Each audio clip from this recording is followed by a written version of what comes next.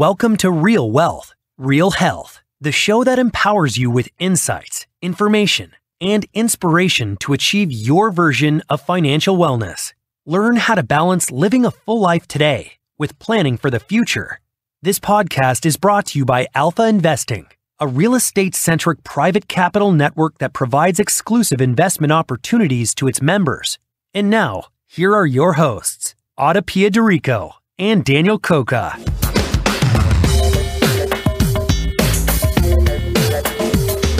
Hello, and welcome back to another episode of Real Wealth, Real Health. Today, we're speaking with Bonnie Koo, CEO and founder of Wealthy Mom MD. After working for Morgan Stanley, Bonnie decided to attend medical school and become a dermatologist. However, during this time, she never lost her passion for finances and money management and often found herself as the go to person in her network for all things finance and money related.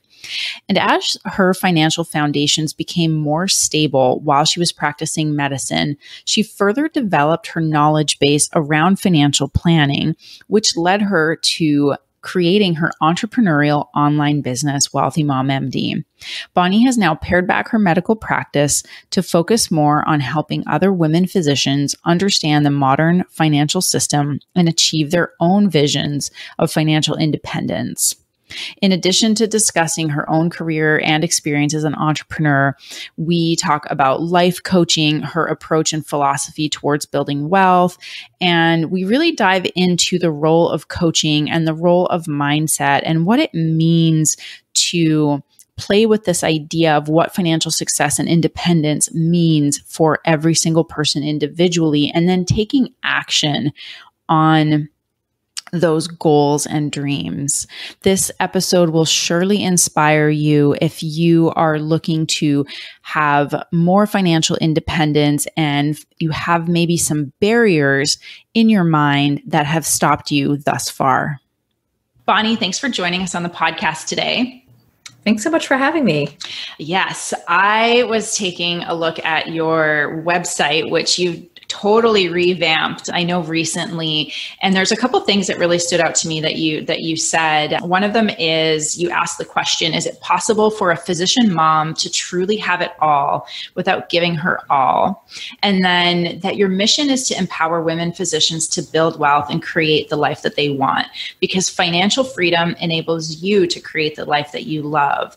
And we could not agree more. So how did you get to where you are today starting i know you had a stint you worked at morgan stanley at some point in your life and then you became a dermatologist and now you're putting that all together to help other women achieve financial independence. Yeah you're talking about the wealthy mom md business right? Yeah oh yes. Yeah. Uh, it's so funny like i didn't wake up one day thinking i need to start a business because i was pretty happy being a dermatologist and you know dermatologists generally aren't looking for a side gig to make extra money, right? So that's kind of where I was. I wasn't thinking. I was literally just it's funny because now people ask me all the time, you know, how do I find out what I want to do? And this is what I tell them and this will sort of answer the question. I was like, well, what is the thing or topic that if it comes up or if you see like a Facebook post on that topic, you just can't help but like comment and chime in Mm-hmm. You know, you just love that topic so much, you just can't help but talk about it or help people or answer people's questions. Right. And it's funny because you know, if you asked me 10 years ago if I would be doing anything related to money, I, I'd, I'd, probably just laugh at you because I was a disaster when it came to money. Oh. You know, about 10 years, and, which isn't that long ago if you think about it. Mm-hmm. And so it's, it, money just kind of came to me my last year of residency, I just started learning about it because two of my co-residents were talking about money. And they were talking, they talked about it all the time. But I think maybe because I was looking for jobs and now I was kind of forced to like deal with it. That's when I was just sort of doing my own research and they said, "Oh, you should, you know, read this book." So I bought the book. And then, then I'm one of those people that once I get into a topic, I just kind of like go nuts and like become a sponge. And, you know, in this day and age, it's so easy to find information. You just, you know, spend time Googling stuff, but like you can find so much at your fingertips. So that's kind of what I did. And then I just really enjoyed it. It made sense to me you know initially i was just more into financial logistics like how do these retirement accounts work because that's kind of what i was working on because i was looking at my job contract evaluating their benefits. So it was an opportunity for me to kind of dive in to see what are these 401ks? Why is it called a 401k? Sure. You know, all that kind of stuff. So that's kind of how it started. And then it became that thing where when the topic came up, I would talk about it. Right. And then and then in terms of like when did I actually monetize it, that came much later, like maybe at least a year or two after that even started. And basically a girlfriend was like, You should start a blog. And I was like, What? Definitely was not on my radar. So that started, oh gosh, that blog was 2017 at this point when I started right. it. Right. Yeah. Famous last words, right? When somebody tells you that and and and you look at them and say, no, what are you talking about? But yeah, here you are because you you've been through a different iteration of your website. It was Miss Bonnie MD, right? And then yep. it became Wealthy Mom MD. And it's so beautifully branded. It like really speaks to to who you are. And I've had, you know, the opportunity to get to know you over the last couple of years. And your story is really inspirational, you know, because you you you're so honest and you're so open and transparent about things like you said just right now you said i was a disaster financially and so often when we think about let's say any kind of financial expert or you know anybody in finance to any degree there's this idea that they should know everything and be perfect and never get anything wrong but you know that can always lead to also things like hiding the things that you've got wrong and how could you possibly help somebody if you're not sharing what you got wrong Oh yeah, I mean, I still make I still make mistakes. I'm an overspender by nature, just to just for an example. And I racked up like twenty thousand dollars of credit card debt during residency. I was buying clothes and shoes. Right. so. Right. Yeah. Yeah. I mean, we're not taught any of this in school. Like we, you know, we have to choose to to learn about financial planning. Like I chose really young. I started when I was 18. I remember my I think it was my my keyboarding teacher. This is how far back things go. When we had a class to learn how to type on a computer, and he was talking about mutual funds like this back in like '96, and I was really intrigued by by this. And then that kind of led me over the years to kind of get into understanding like how do mutual funds work and how does this you know how do you become financially independent because i'm sure the same way you um, understood this too is like it allows you to do so much more when you understand how to manage your money. And it's not about making the most money possible or being filthy rich. It's just about giving yourself enough to do what you want to do and be comfortable. Yeah. I mean, money is a tool, it's a great, powerful tool. And if you have enough of it, then you won't you know have to stay in a situation you don't want to like a job or you know even like you know, let's say a relationship, for example. I think a lot of women feel trapped because they feel like they can't leave because of money, for example. Oh, yeah. Yeah, there's a lot of stories. There's a lot of stories about that actually, which would be like a whole rabbit hole that I don't want to go I don't want to go down because there's there's just so much there's so much there.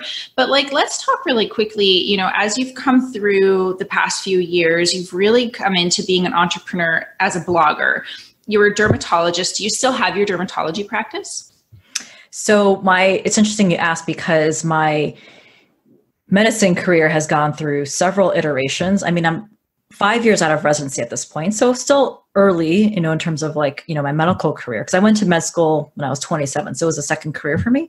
So I started out in academics, then prior practice, and I switched to locums, which is like temporary work. Okay. That's how I was able to live in Hawaii for three months over the winter, if you, if you remember. yep. And now I do teledermatology, so exclusively seeing patients online, but I don't do virtual visits on Zoom. It's all they upload photos and then I submit a very thorough report. I mean, sometimes I will have to Zoom with them if I'm starting them on certain medications that that's just required for billing. Yeah but it's a it's such a, I actually love this app. It's a job I'd lined up before the pandemic, but obviously it's perfect with the pandemic, you know, going on right now because I don't have to, you know, physically see anyone. The patient doesn't have to take time off from work and like yeah. go somewhere and put themselves at risk. I can't do everything if if someone submits a visit and I can't do it like, you know, legitly, like a mole check, I can't do that. Right. And I just, you know, I just decline the visit and they don't get charged. So mm. that's what I do now. I do that maybe 5 hours a week. Oh, wow. Oh, wow. So you've kind of taken the four hour work week approach to your dermatology practice. Um, I love that. Um, it, it, you're you're just like a like a multi-pronged entrepreneur and you know as you know we're entrepreneurs as well and we always love speaking to other entrepreneurs about you know about their journeys and before we dive into like more of like the, the meat and potatoes investing and, and real estate if you're if you'd like to share maybe what some of your biggest challenges have been as an entrepreneur uh, and maybe also like a recent success and by entrepreneur at this stage i'm talking about with your blog and and with starting this this business around helping women achieve financial independence. So you said biggest challenge? Mm-hmm. So I think the biggest challenge that I'm undergoing right now actually is is growing. You know, in the big it's like there's different challenges at every stage, right? When you're just getting started, you're just trying to like make money, that's like a whole different challenge. And then there's like when you start making money, which is sort of where I'm at, and then it's like okay, how do you scale and how do you grow this business that so that I'm not the one hustling 24/7 on the business. So I'm in this phase where I'm learning how to manage people and learning how to create and implement systems and processes. So I actually love it. It's really fun for me. And I think and I think I even read it in Rich Dad Poor Dad. I think Robert Kiyosaki even said like this is like a skill set you need to learn if you want to become wealthy. So you have to learn how to create implement processes and manage people. And that is a skill that you don't learn in regular school. Maybe you learn in business school, but I didn't go to business school. And so that's been really eye opening to me, like learning how to do that part of business. Yeah, I think that's always something that, you know, particularly when I was working as a lawyer, there was always this assumption that, you know, as you get more senior and, and people start working underneath you, that you just kind of understand like how to delegate, how to motivate. And there was never really a ton of like mentoring or education or training around how to do it. You just kind of had to to figure it out, right? And so, you know, now in this environment where you know we're all kind of more entrepreneurial here, the importance of that is is just beyond you know my was beyond my scope at that time, and so it's a really interesting process. It's also to hear you know how how well you're doing and how you know much you've grown. It's really a testament to kind of what's out there in in the marketplace and just kind of the desire for you know the folks in, in your network to you know kind of get that coaching and mentoring and, and leadership which is great and you know one of the reasons that you know i think we connected with you from the beginning I would love to hear just a bit more about kind of what's what's happening on on that front you know what things are you kind of looking at you know on the investment side you know financial management side like where in your where's your future growth headed in, in that in that respect? Awesome question. So it's interesting like i'm still i still feel like i'm still learning when it comes to money. And so it's funny like when i first started learning about money as a resident so we're talking like six years ago at this point you know all i knew was index funds do index funds. This is how you do index funds compound interest plug into a thing and this is this is the thing you need to reach for and then that's it. So that was like sort of like money 101 for me and so that's where i started and i was like okay that makes sense. I, I fill up my 401k bucket. I should do a roth ira and it felt kind of like neat for when i made my first like you know purchase of index fund. It was like scary. You know now i'm like whatever. I just set it and forget it now for that. And then it wasn't honestly until a year two two years ago actually i actually looked up when i invested in my first syndication that I was like, okay, now it's time to like go to like money 201 like what's next? Because obviously index funds aren't the only way. And then my thought process and just knowledge of money has changed over time because now i just i like the idea of having multiple legs of income. Like if you think of wealth as a table the goal is to have as many legs as possible so that when one leg falls because the stock market inevitably goes down right? Because it goes up and down just the nature of it I'm not going to be out of luck, or even if I lose my job, right, which is happening now in the pandemic with lots of people. So if I lose my job, which is unfortunately most people's only source of money, the table's not going to fall down. So right now I'm learning about how to build as many legs as possible. And even within my business, I'm learning how to create different revenue streams within my business so I'm not dependent on just one product. And so I started investing in real estate. This is, you know, for personal finances a few years ago, starting with uh, a syndication, and we just bought our first rental property. Did you buy that rental property yourselves, or did you go into um, a syndication with with others? Like, what kind of rental did you buy? Yeah, so it was a single, like what was the terminology? Single family home. And but it's two doors on one property. So it's like a main house, but they have like a little in-law thing in the back. Yep. I say thing because I actually haven't seen the property with my own eyes. Sure. that's why it sounds so funny. And so that's funny. It's another thing is you don't have to see the place with your own eyes to buy a property. So we, you know, we we actually met this investor agent last summer. So when I switched to locums, my first stint was in Seattle. And so when we lived in Seattle, we had some physician friends who were very active in real estate who lived in the Seattle area. And so they introduced us to investor agents. And as you know, real estate's all about relationships. And so at the time we weren't ready, but I was working, but Matt was able to spend a day with them and just look at some properties together and just meet them. And but we didn't actually buy anything until a few months ago, but was with those same people. And because we had met them and trust, or he trusted them because I hadn't, I actually hadn't met them that's kind of how that started. So we just closed a month and a half ago on that. Oh, okay, great. Well, I hope you got some good pricing, some good COVID pricing on um, on that property. I don't know if it was COVID pricing, but we didn't overpay. You know, in terms of we got what we wanted, maybe five thousand less, and we're we're going to do a lot of work on it to kind of we're going to add an extra bedroom to it actually not like add it, but it's just laid out so that it's amenable to just, you know, shifting a door and then we can make an extra bedroom, which will obviously increase its value. So yeah, yeah.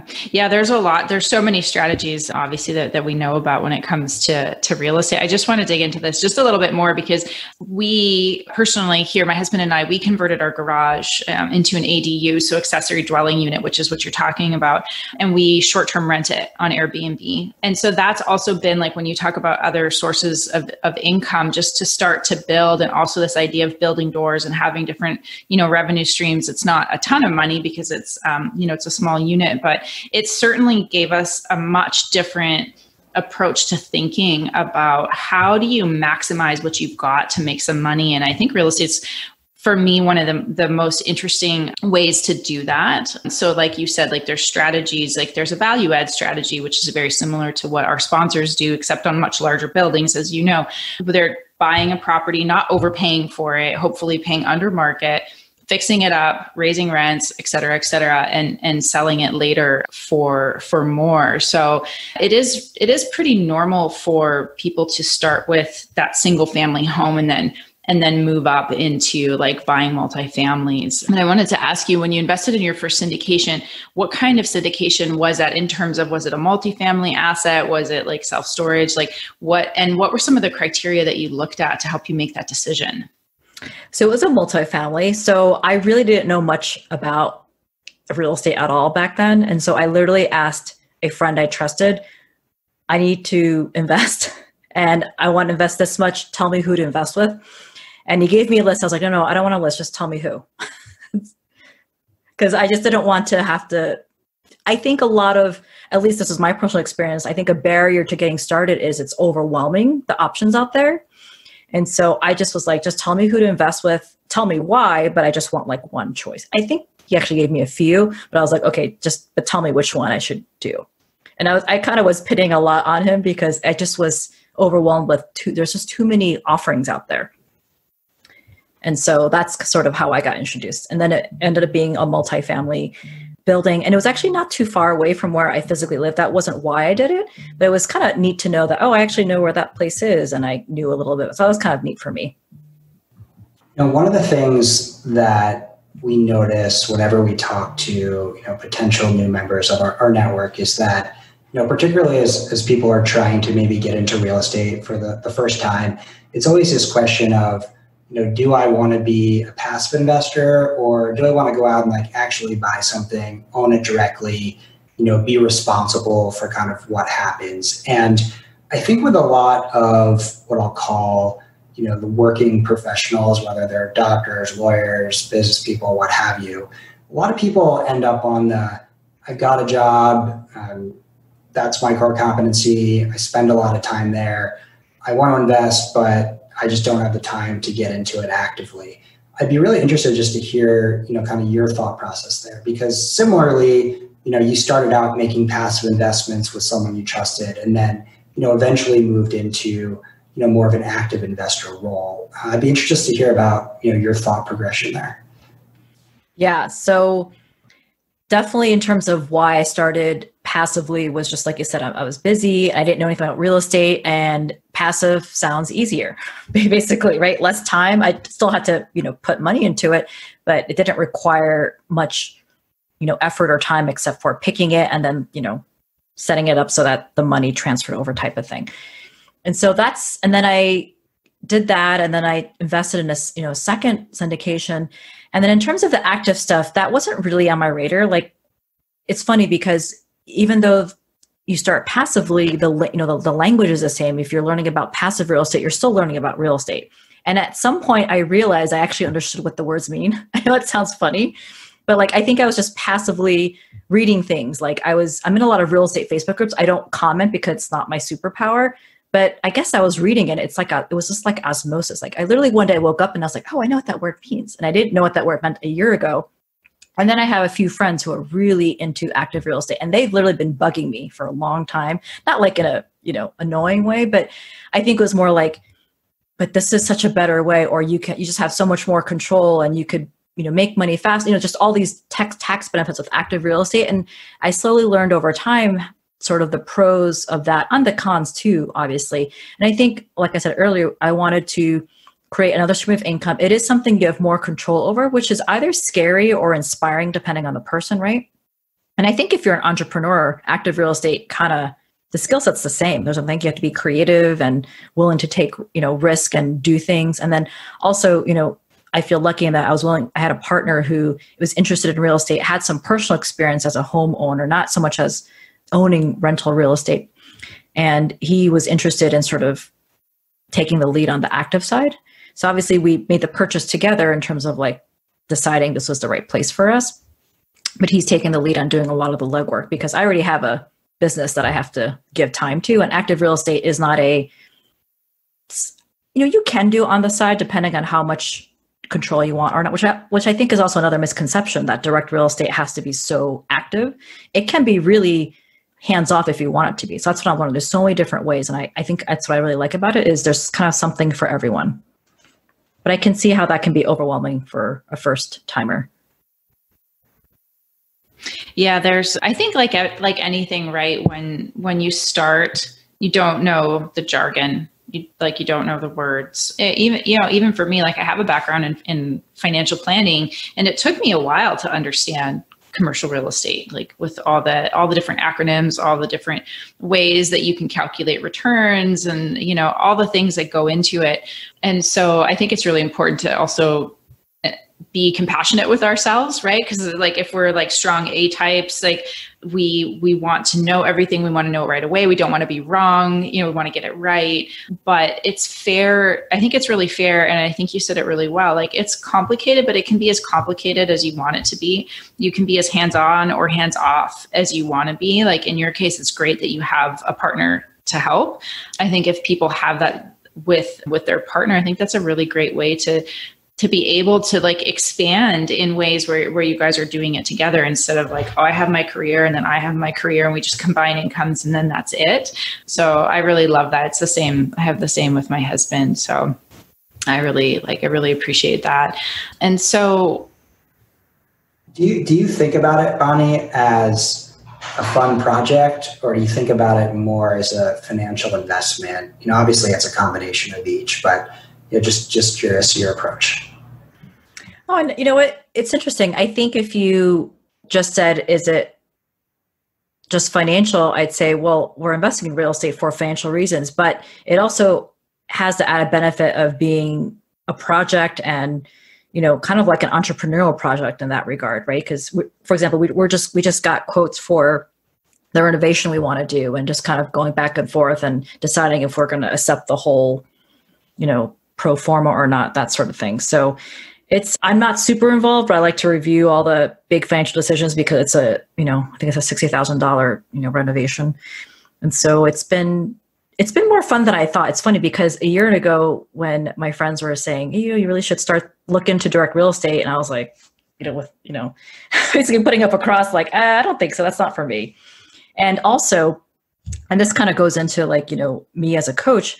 I literally believed we didn't have the money to invest in it. And so that sounds like a fact, right?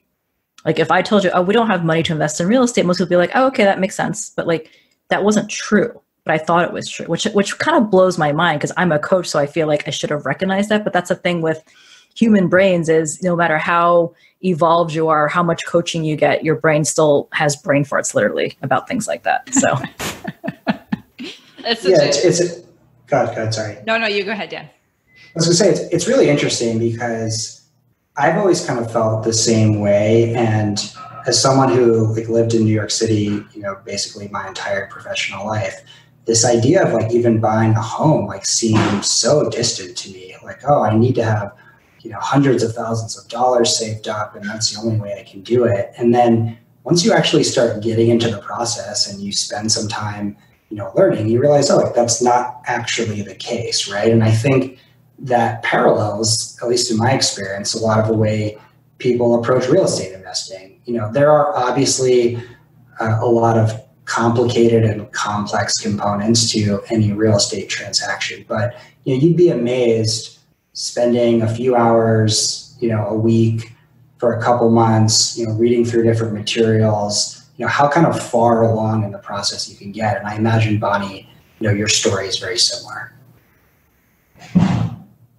Yeah. So I, it's so interesting. Like, cause I, I remember a year ago, I'm like, yeah, we don't have money for that. Maybe next year we will and it's like something flipped and i don't exactly i don't know exactly the moment but at some point i was like okay we're ready to do this and it's it's so funny as soon as you like sort of make that decision and commitment that you're going to do it like you just you just find a way because we had a lot of roadblocks even buying this first property in terms of getting a loan so we actually have to pay cash for it which you know isn't ideal but i wasn't going to let you know not getting a loan at this point you know i, it, I totally could have been like oh well we can't get a loan so we're not going to do it and I think a year ago that would have been me, but I think I was like, well, I, you know, just kept looking and figuring out where we could get the money from.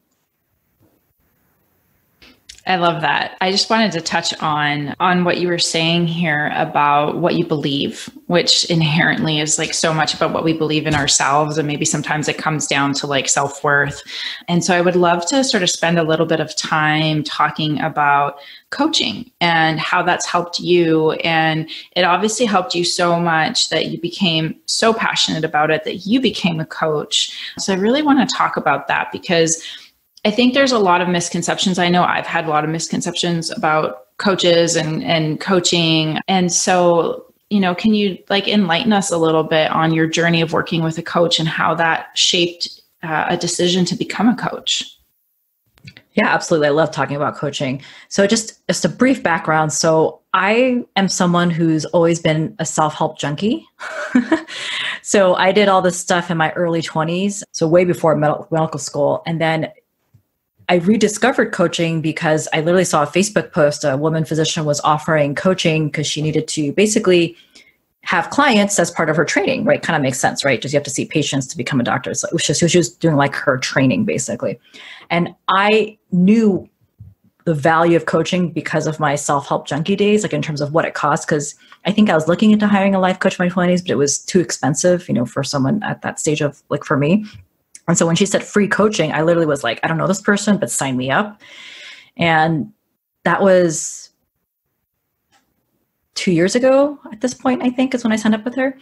And so I guess the reason why I decided to become one was because the more I learned about it, and it's funny because you would think I would know more, but it's like working out, right? Like you work out, you build some muscle, but you have to keep lifting weights to keep that physique, right? And that's yeah. the same thing with self help co- and coaching. So people coaching is different things, different people. The type of coaching I am trained in is also called thought work. And so it's really just learning how the human brain works and basically like I teach my clients things about themselves. Like it's it's kind of like money. Like it, this needs to be taught in school. Like it's crazy to me that it's not. And so, so the basis of the coaching I've learned is basically that your thoughts, which are beliefs, create your feelings, your feelings create your actions, your actions create your results. And so, literally, what I tell people is you create money with your thoughts because it's true. And when I say that, people are like, well, what do you mean? I'm like, well, anything you see out there, the microphones we're lear- using right now to podcast was initially someone's thought slash idea, right? Thoughts, beliefs, they're all the same thing. So someone created, thought of something, and now we have a microphone. Someone thought of a TV and now we all have TVs. And so that's the same thing with money, right? We create, you know, value with our thoughts. So once I sort of saw that connection, I was like, well, I have to be a coach because that's, I just saw that as taking things to the next level and my ability to really teach and help people around money is because so many people have all these, you know, limiting beliefs about money because we grow up with all this, you know, BS about money, what it, you know, that we shouldn't want money. It's like bad to want money. We don't want to be that rich, greedy person. And so if you think about it, even like in movies, all the villains are like rich. right. Or they want all the money in the world to destroy everybody. Yeah. Exactly. so you we kind of have to unpack a lot of stuff we've absorbed since we were kids.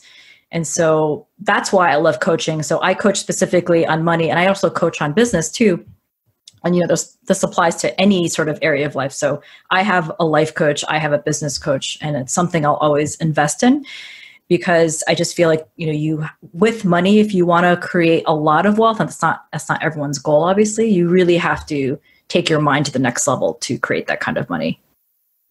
Yeah. And so i feel like i need to be not like i feel like but it, for me it's like i'm just curious as to what i can create in the world mm-hmm. and sort of as an example to show people that it's possible to do that. And, and my mentor, Brooke Castillo of the Life Coach School, like she talks about money openly and she freaks a lot of people out about money because she's so open about it. But you, it's one of those things that you have to start talking about. Like it's kind of interesting. Like, you know, the last time we sat around with friends, like who who knows what that was at this point? Like you don't go around exchanging each other's net worths, right? It's just not something you talk about.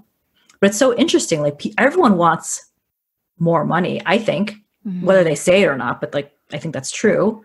Yeah. And but no one wants to talk about talk about it. Yeah, that's interesting. Yeah, there's it always comes down to what conditioning or like essentially like programming that we learn from a young age. I do, like you, I do a lot of personal development work. And I'm not a coach, but I am a facilitator in PSYCH-K, which is a subconscious reprogramming modality, which is really, really interesting when it comes down to making like permanent rewiring changes like inside your beliefs. So, mm-hmm. really understanding how to change it. And emotions play such a huge role because they're magnetic, right? Like an emotion will magnetize what you're creating with your thoughts. Like a thought is electric and emotion is magnetic. So it just has that electromagnetic kind of, you know, it's a frequency. But anyways, it, it, it has that function. So I love hearing you you talk about that because it's it's very it's very much what I understand as well.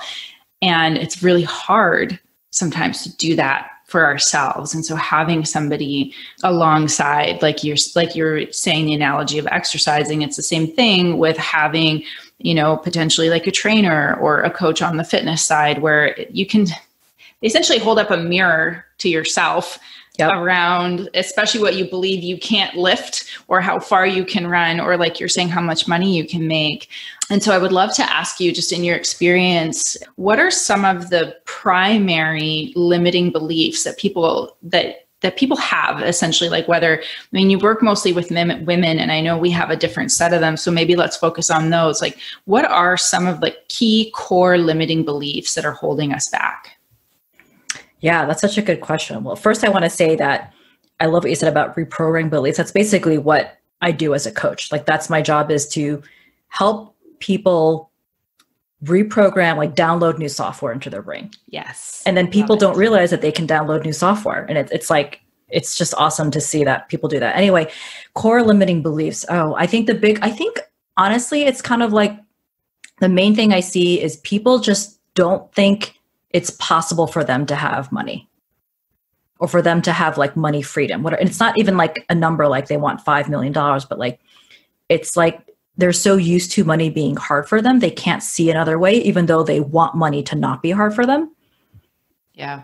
They can't like it's, it's and it's also so comfortable for them. And so that's another thing you know with thought work is our brains love to be efficient. So even if you're replaying a belief that's clearly not helping your bank account it doesn't matter that it's not helping your bank account. Your brain is like well this is like we've been playing this for decades. So we're just going to keep playing this belief because it's just easy and we don't have to spend any energy. Because to download new software literally requires a lot of energy and effort to reprogram. Yeah.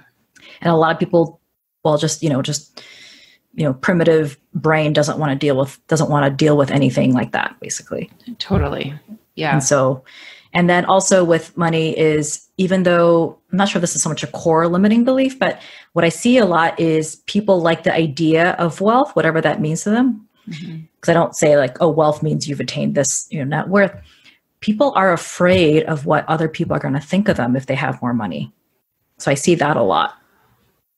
Oh, They're worried about what people are going to say about them because I think at the core, one of the core human desires is to be accepted by the pack, right? Yeah. yeah. And if you're suddenly like the rich person, people sometimes don't like that. Yeah. And so yeah. I see that a lot of fear of, you know, going against the grain. And so I literally tell people inside my course, you need to find some people who love money. I'm ser- and that's yeah. like and and have money because people yeah. who have money and love money, they love talk and also beliefs are contagious. So you have to hang out with people who have the beliefs that you want because it just helps you download that new software.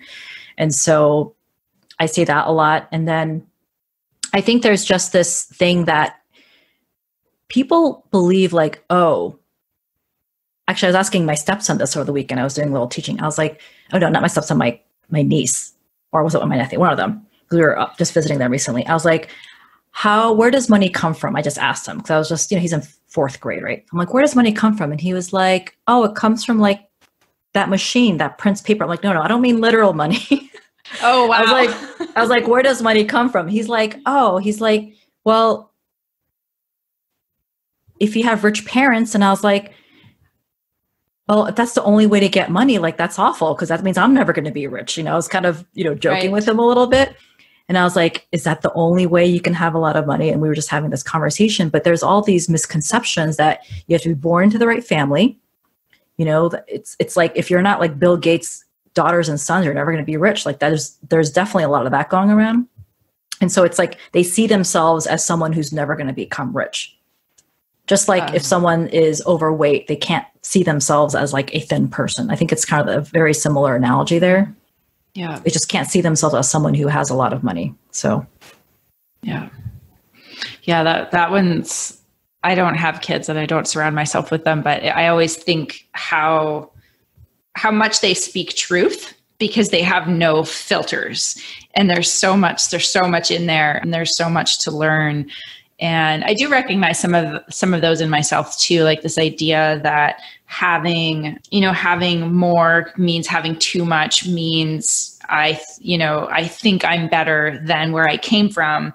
You know my parents are immigrants and we were never rich. We were often like you know not really having great Christmases kind of a thing. And and so it's really this this idea that like I can get what I need to get and achieve what I want to achieve. But at the same time, you know, what will they what will others think of me if I do, you know, achieve a certain a certain thing and i i did some work on this on myself and i realized that a lot of it came down to an observation of jealousy in my parents and you know specifically my dad where he would speak badly of people with money.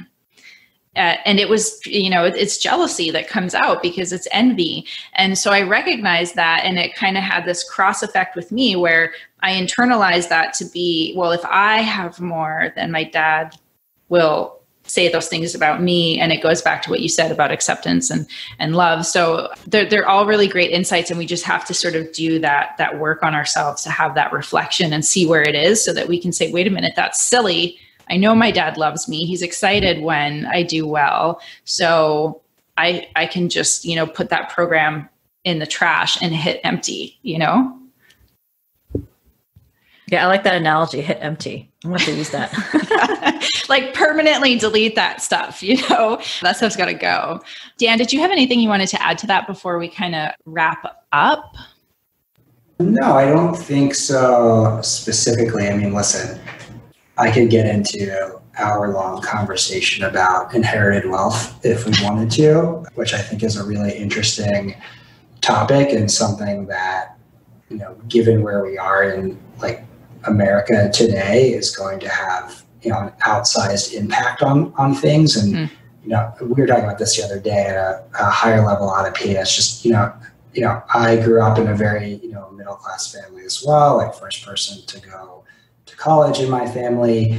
And you know i was surrounded by you know a socioeconomic class of people that were very similar to my family. And then you know, as I went to law school and then started working at this big law firm in New York City, you know, all of a sudden, like I'm surrounded by this group of you know relatively wealthy people, and you know the the impact of inherited wealth on you know someone in that position or or you know the, my friends and colleagues. It's really interesting just to think about how quickly you're able to kind of move your life forward, the risks that you're able to take, you know, that you can't when you have to worry about paying your student loans off or you know you're renting instead of owning and so you're trying to save up for a, a down payment on a home things like that. And so i read a really interesting quote maybe last night. I, have been rereading uh, liar's poker which is something i read in college when i thought i wanted to be an investment banker but there was a really interesting question about or, or comment around you know banker bonuses and that you know no one actually feels wealthy they just get to varying degrees uh, of feeling poor, relative degrees of poverty, as they increase their wealth, move into you know different social classes, and then ultimately realize I'm not as wealthy as the people around me, and then that leads you back to that you know initial thinking of well, I actually don't have that much, and so.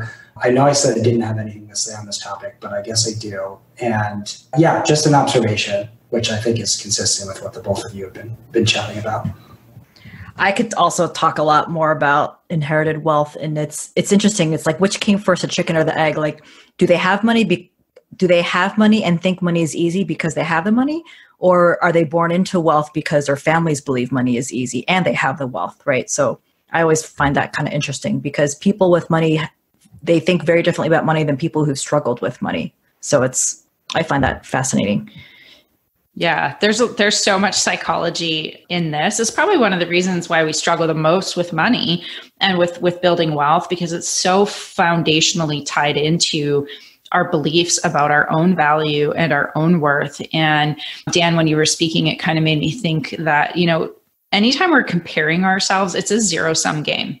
Like we will never win that comparison game no matter what.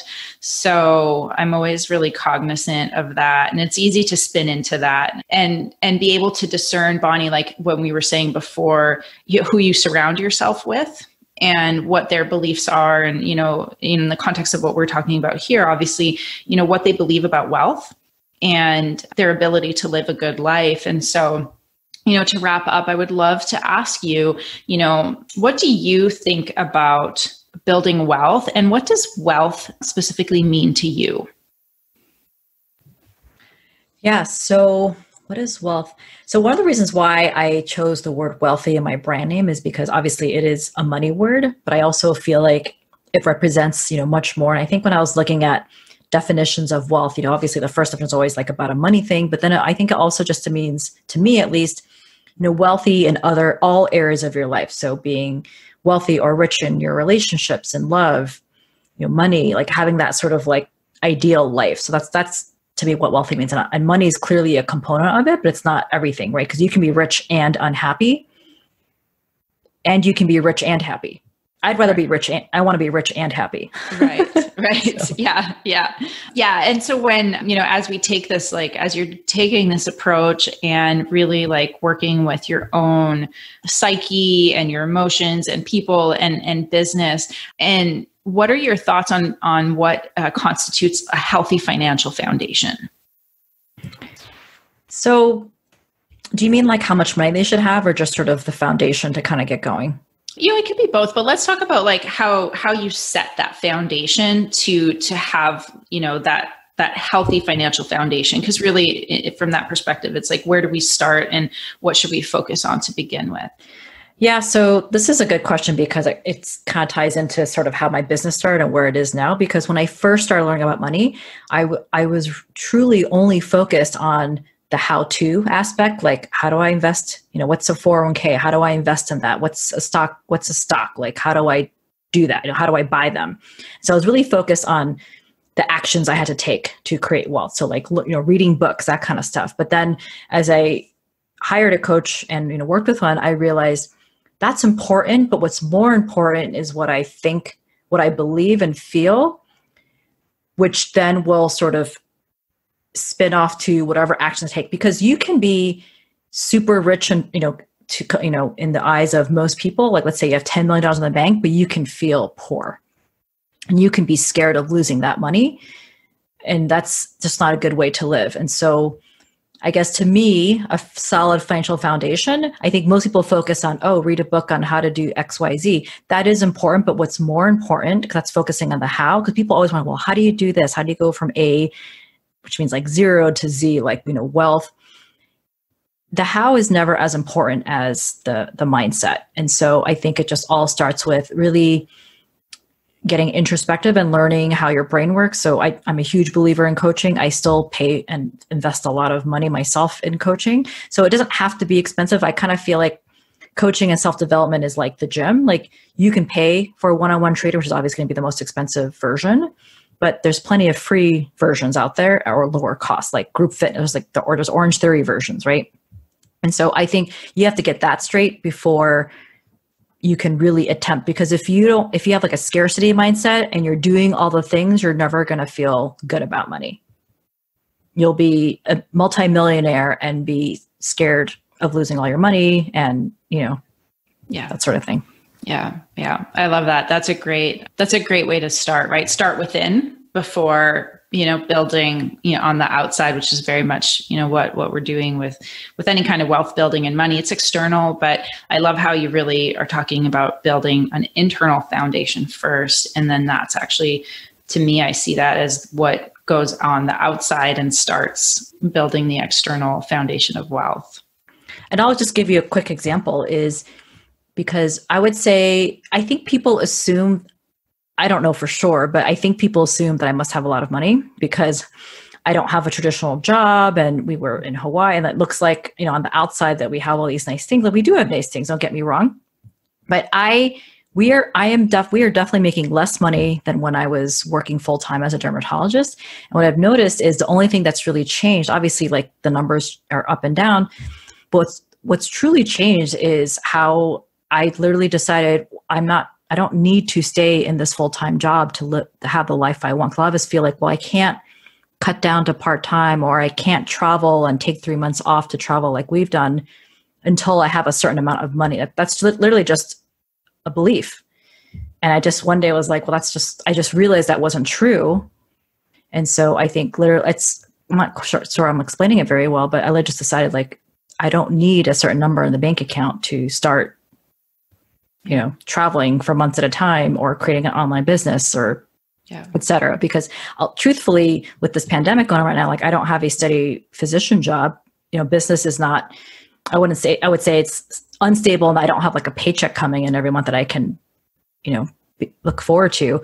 And so in some ways I feel like financially we're actually less stable now, but it doesn't feel that way internally. Like I'm not worried about my ability to pay rent or anything like that, even though technically I don't know when the next paycheck's coming, which yeah. is kind of strange if you think about it, right? Because if I told you or like, you know, random person said, yeah, I don't really have a job right now and I don't know when the next paycheck's coming, like you would think that person would be really stressed out, but right I'm not. So right. I find that interesting. That's amazing. That's just a testament to everything that you've been talking about, which, you know, from from your beliefs to making decisions and overcoming false fears and very much that that concept of really what you've described uh, perfectly is live for today instead of this this living in like this perpetual state of when i have this then that you're you're totally taking that off the table and saying i have this therefore this instead of you know when i have this and i can do that and then i'll feel this that and the other thing. So i think it really speaks to